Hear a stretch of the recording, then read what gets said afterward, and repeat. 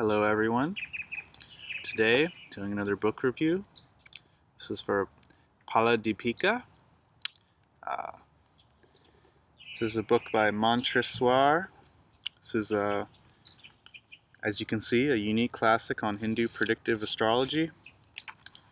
Um,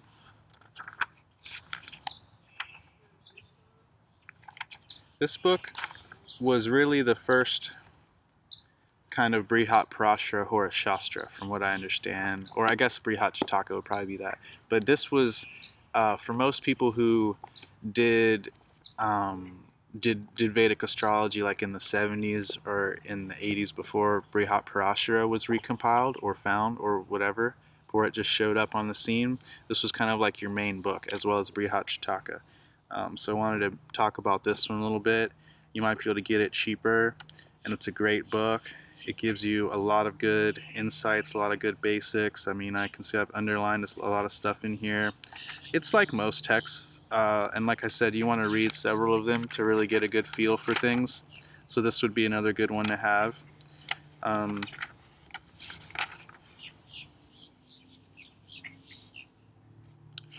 yeah, you know, it starts out like most texts. Um, with talking about the you know the houses, the planets, the signs, these basic things, and uh, basic characteristics of the planets. Then it has um, goes into various kinds of strengths. You know, uh, goes into the Vargas a little bit, but not not as much as others. Um, then you get to source of livelihood. This was a good chapter for me. Um, there's a lot of there's a lot of good techniques in there I still use you know, classic yoga chapter.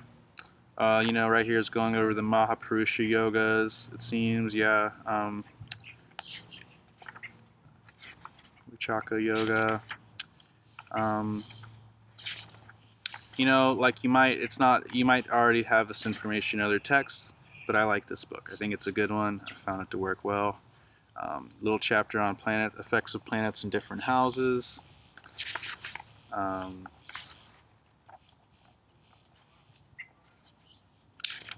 seventh whole chapter on seventh house stuff, whole chapter on female horoscopy.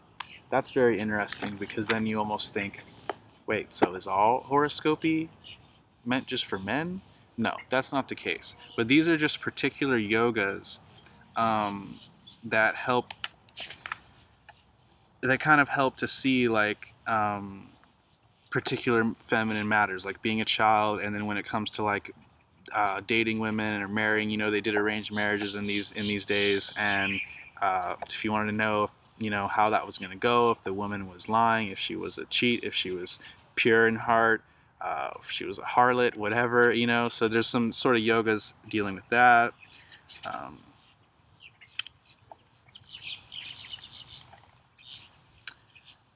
it also that's also the chapter that people have you can kind of like there's some stuff in there in that chapter that's a little bit medieval sounding but you can extrapolate that and put it in a modern context and it works really amazingly and I do that. And a lot of uh, I'm not the only one who does that. There's a lot of people who do and it works really really well um, when it comes to compatibility techniques and stuff. So there are techniques in here that I still use for compatibility. Um, there's a whole chapter on the birth of children. Of course that's one of the hardest things there is to predict so you know, good luck with that if you're trying to do that. Um, chapter on longevity, which is pretty classic. Most texts have that. Um, there's some other interesting chapters too, like like exits from the world, diseases, death, past and future births, um, assessment of houses. well that's kind of normal. Um,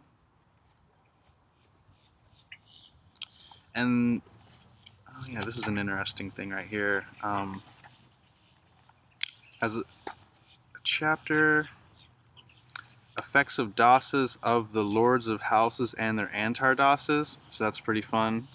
Um, sometimes we don't really have a lot of information to go off with that, so that's good.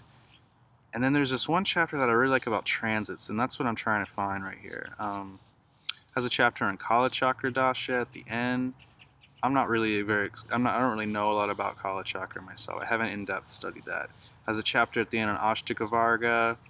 A lot of people are into that. Um,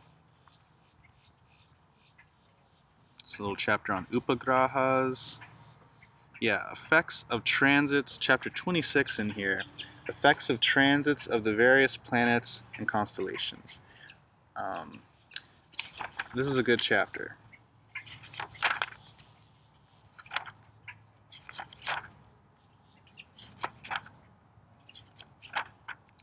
This is a great one for a lot of the stuff in here. If you just kind of like get the read through it and get the ideas and the principles, you'll find them to still be working out in your practice in modern day things. So that's really neat. This is a super old medieval text. Um, and then yeah, at the end it has a little chapter on yogas leading to asceticism, which I think is kind of neat because I always like want to know why people do that. Um, for example, when the Lord of the 10th house, in association with four planets, is positive in a Kendra or Trikona, the native attains emancipation. I can't really say that that's true, in my opinion. Um, I, I, haven't looked into this that much, but uh, I just read that because that was the first thing that I was saying, but I don't really know if I would say that that's that true. The, I mean, you got to always test out the stuff that you read in here because the, these texts are, and this goes for all uh, Vedic texts, or at least all the astrology texts, they work in extremes. They deal in extremes so that you get to know, like, just the feel and what the thing does. So they right off the bat say, you're either going to be a king with this placement, or you're going to die in a ditch at, you know, 15 years old with that uh, opposite placement. You know, there's no middle ground thing. You're supposed to kind of understand that and, and understand that in real life there's mostly averages and things are going to be more average. But this, these are just to give you the principles of what's good, what's bad. You know what I mean? But you have to kind of always be figuring this stuff out on your own, you know, and learning it and testing it. So anyways, that's Phala Deepika. It's, you know, I'm not going to say like five out of five stars, but it's a very good text. I'm not going to give it an actual thing. It's a great text If we didn't have Brihat Parashara Hora Shastra, we would all be reading this so much more. Or if we didn't have some of the other texts, we would all be reading this so much more.